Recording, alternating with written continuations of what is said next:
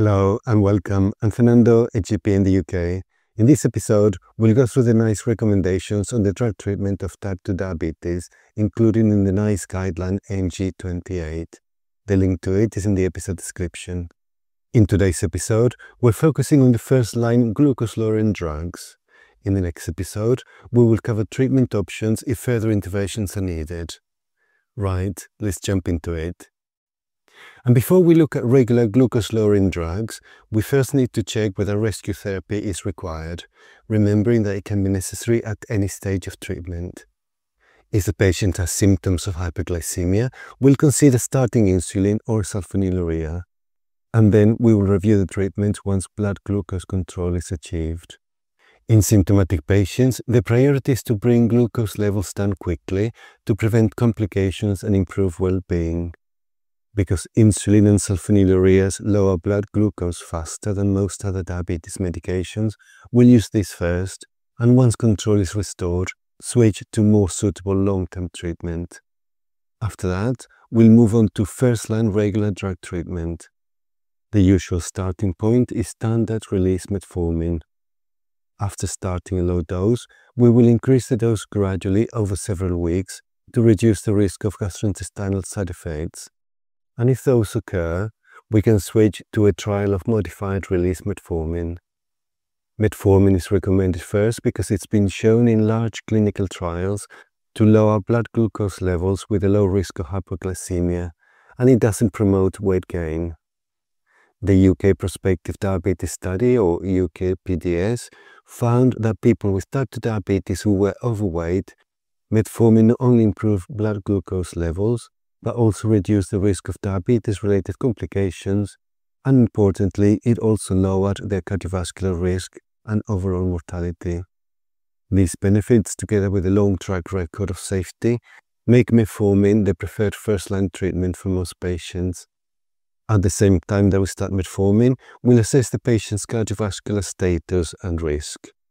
The goal is to determine whether they have chronic heart failure, established atherosclerotic cardiovascular disease, or are at high risk of developing it. We need to remember that established atherosclerotic cardiovascular disease includes conditions such as coronary heart disease, acute coronary syndrome, previous MI, stable angina, ischemic stroke or TIA, and peripheral vascular disease. We also need to be aware that the high cardiovascular risk means a Q risk score above 10% in anyone aged 40 or over, or for those under 40 having any one of these factors, hypertension, dyslipidemia, smoking, obesity, or a family history in a first-degree relative or premature cardiovascular disease. If the patient has chronic heart failure, established atherosclerotic cardiovascular disease, or is at high risk of developing cardiovascular disease, we offer an SGLT2 inhibitor in addition to metformin and will do this regardless of their HbA1c level. This approach is supported by strong evidence.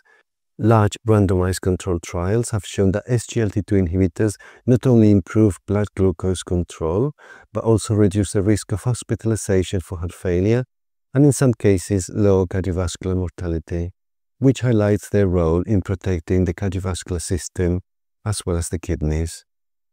Now, when starting dual therapy with metformin and an SGLT2 inhibitor as first-line treatment, we'll introduce the drug sequentially. We will start with metformin first, then check tolerability, and then add the SGLT2 inhibitor as soon as metformin is confirmed to be well tolerated.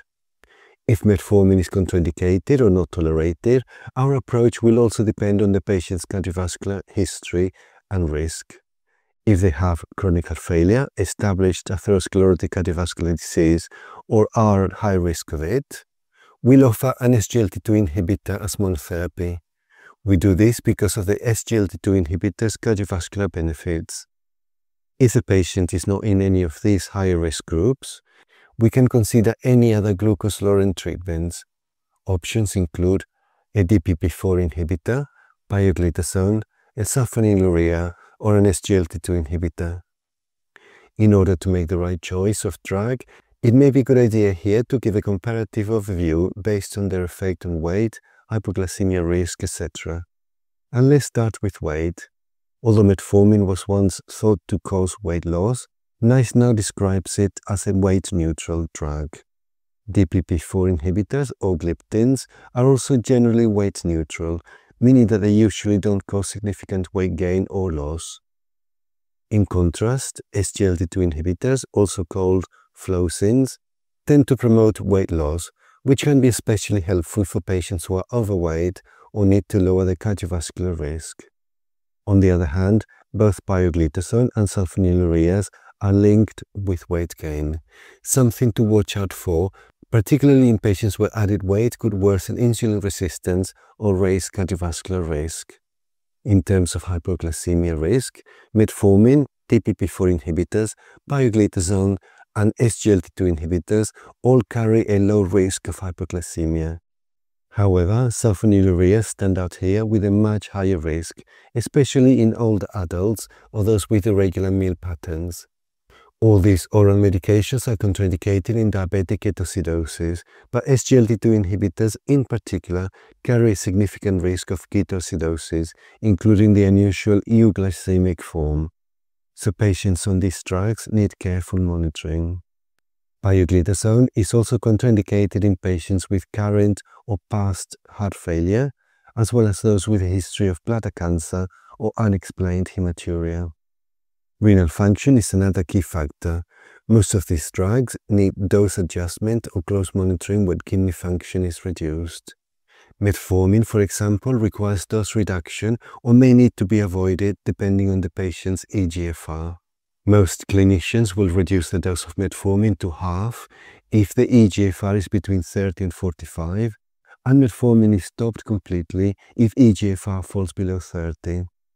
Pioglitazone generally doesn't require dose changes for kidney impairment, but it should still be used with caution. Because of what we said earlier about the increased risk of ketoacidosis, before starting someone on an SGLT2 inhibitor, we need to check if they might be at higher risk of diabetic ketoacidosis. This includes people who have had a previous episode of DKA, those who are currently unwell with an illness, or anyone following a very low carbohydrate or ketogenic diet. And because of the risk that SGLT2 inhibitors carry in this respect, we will want to address any modifiable risks before starting them. For example, if someone is on a very low carb or ketogenic diet, they may need to delay treatment until they've changed the diet. We will also advise them not to restart that kind of diet without talking to the healthcare team first, as they might need to stop the SGLT2 inhibitor if they do. I will not go through all other possible side effects of SGLT2 inhibitors, but it's important to know that SGLT2 inhibitors have been linked to a rare but serious infection called Fournier's gangrene. This is a rapidly progressing infection of the genital and perineal area.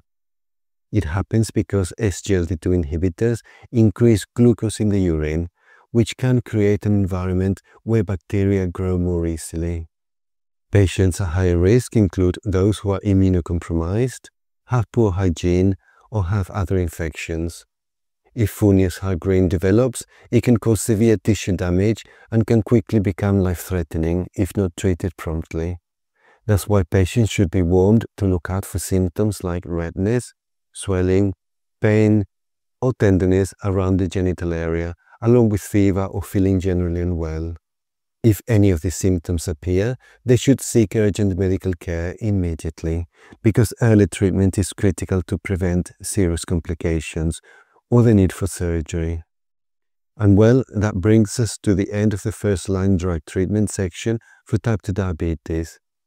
There's a separate part of the diabetes guideline that focuses on people with type 2 diabetes and CKD because they have some specific recommendations when it comes to SGLT2 inhibitors.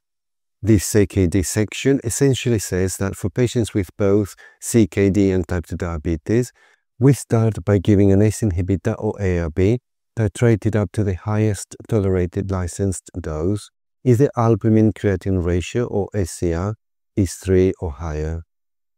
Once they're on this medication, we then add an SGLT2 inhibitor on top of the ACE inhibitor or ARB if the ACR is above 3, especially if it's over 30. I need to meet the appropriate EGFR thresholds for each particular SGLT2 inhibitor. NICE has produced specific technology appraisals for dapagliflozin and empagliflozin for adults with chronic kidney disease. These two drugs can be given to CKD patients without type 2 diabetes, specifically for their CKD management. So that is it, a review of the first-line drug management in type 2 diabetes. In the next episode, we will cover treatment options if further interventions are needed. We have come to the end of this episode. Remember that this is not medical advice, but only my summary and my interpretation of the guidelines.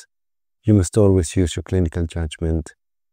Thank you for watching and goodbye.